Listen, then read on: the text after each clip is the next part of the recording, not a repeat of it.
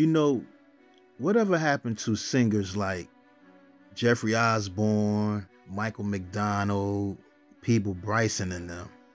Them boys could sing, man. They brought that grown and sexy romantic quiet storm R&B sound that even made the pop fans love their music. All races love their music. But another guy I got to put in that same category is James Ingram. He had that powerful, smooth, tender voice that fans say it was like a the fans they was like his voice was like a howling sound. And he could do R&B and pop too. The crazy part is James never wanted to be a singer. He thought his voice wasn't good enough, but that all changed when the great Quincy Jones heard him. He won Grammys, he got Golden Globe Award nominations and Academy Award nominations. Only problem James had all of his career, right, was that his record label wanted him to be a crossover artist like Lionel Richie. They really they really didn't want him to have an R&B fan base, which frustrated him throughout his career. So let's get into the story, right? Now, James Edward Ingram was born February 16, 1952 in Akron, Ohio. And he was one of six children born to his parents. And many of y'all probably know his little brother too, Phil Ingram, who was one of the lead singers from the R&B group Switch. That was my group right there, Switch. But you know, growing up, right now, James he came from a very religious family. His father was the deacon of their church, and he was also the Sunday school teacher. And they went to church like three times a week.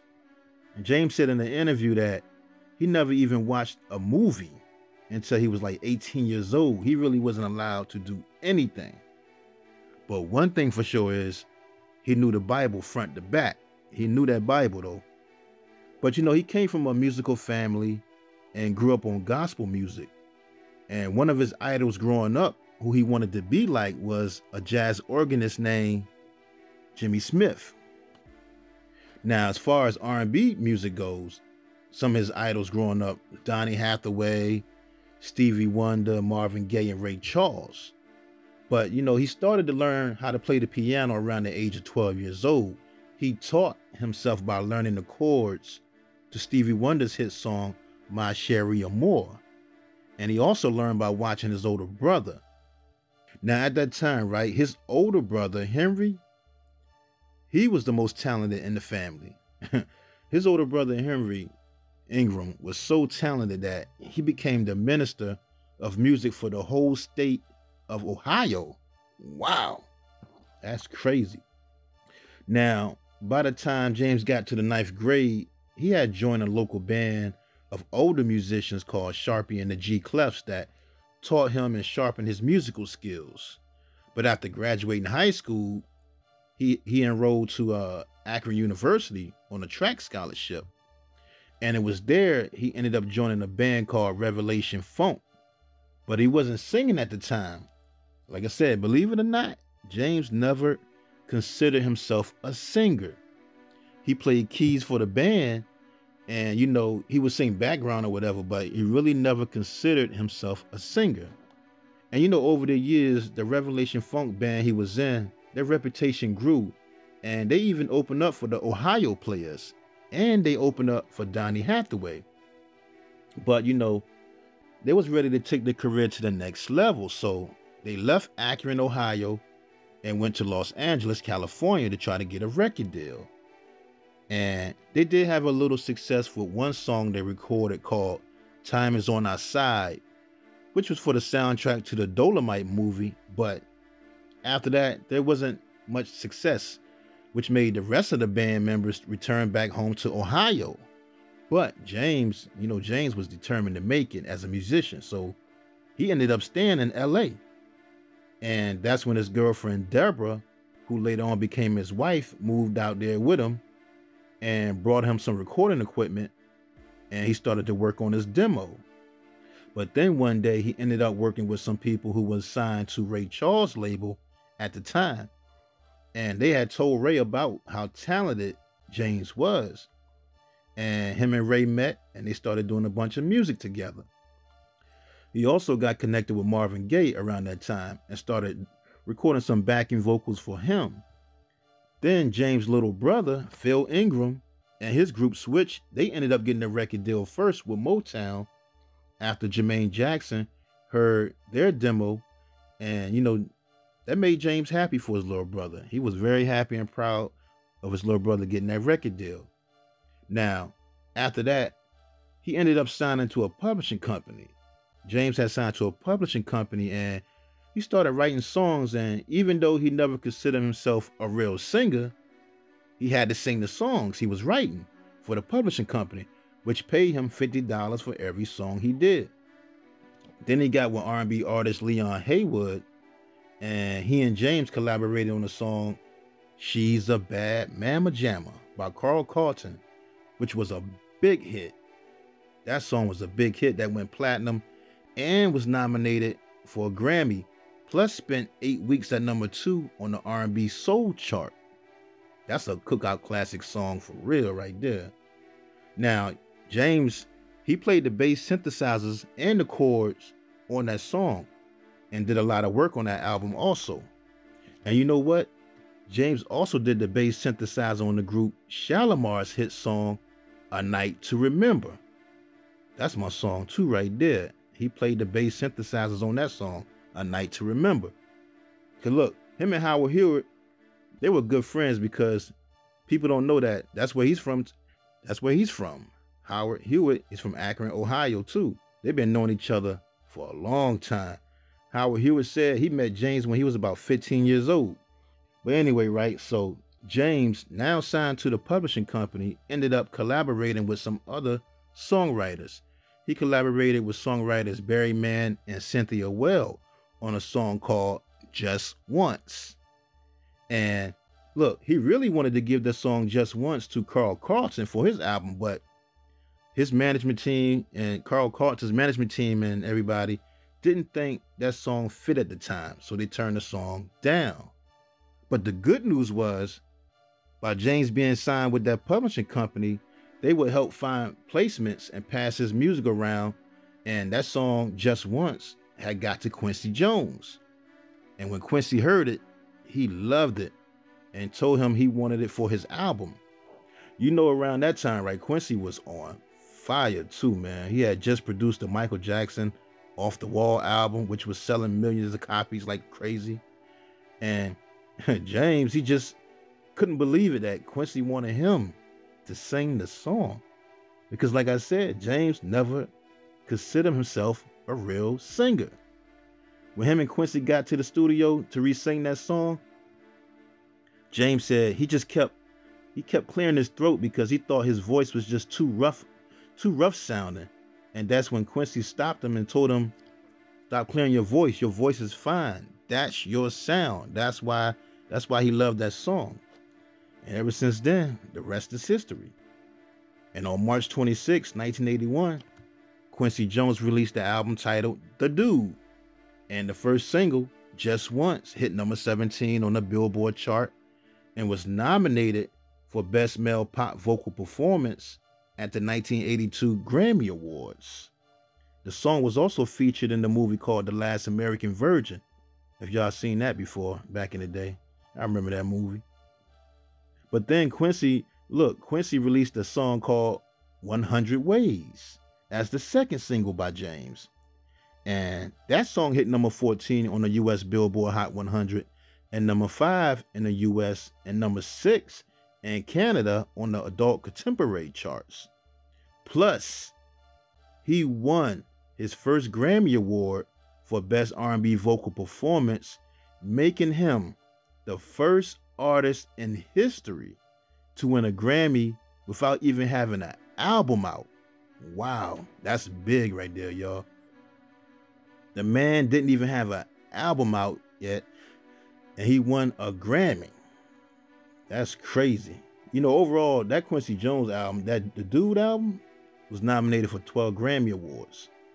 Now, after that, you know, Quincy started his own label called Qwest Records, which was distributed by Warner Brother Records as a joint venture.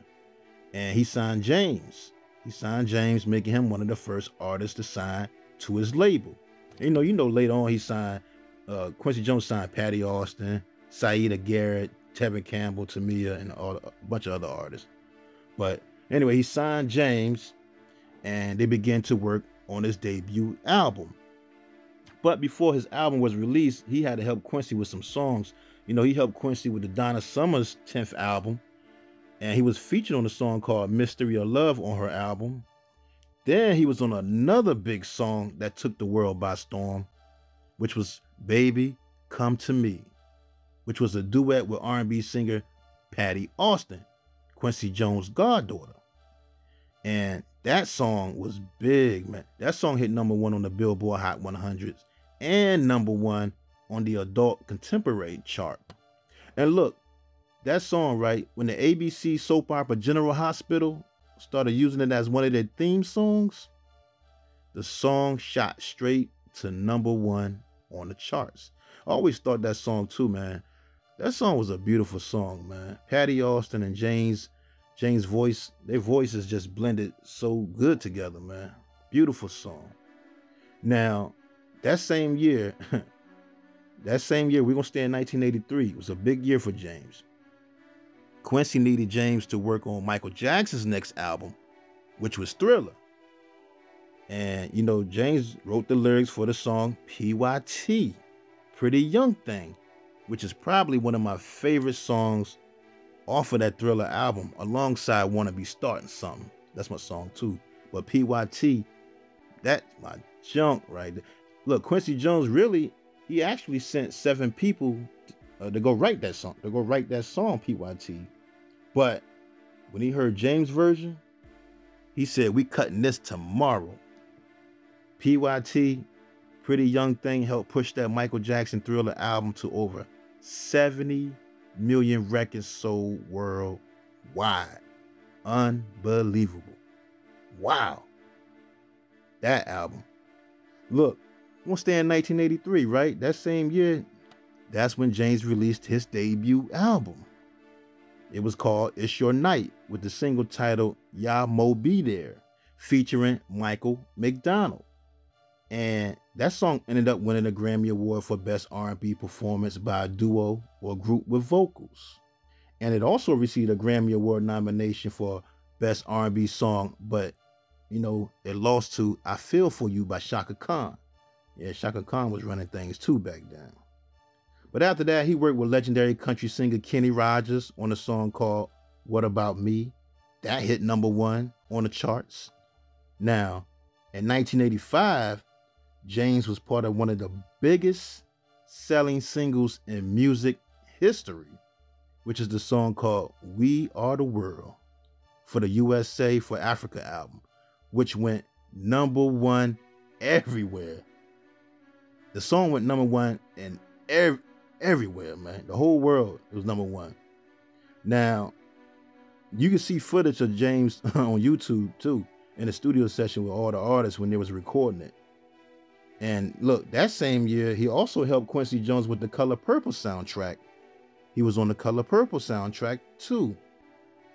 Now, on July 15th, 1986, he released his second album titled Never Felt So Good with the single called Always that helped push that album to certified gold. Months later that same year, him and singer Linda Ronstadt, they did that duet song called Somewhere Out There for the soundtrack of the animated movie American Tail, which ended up winning a Grammy for Song of the Year and the Grammy for Best Song Written specifically for a motion picture or television.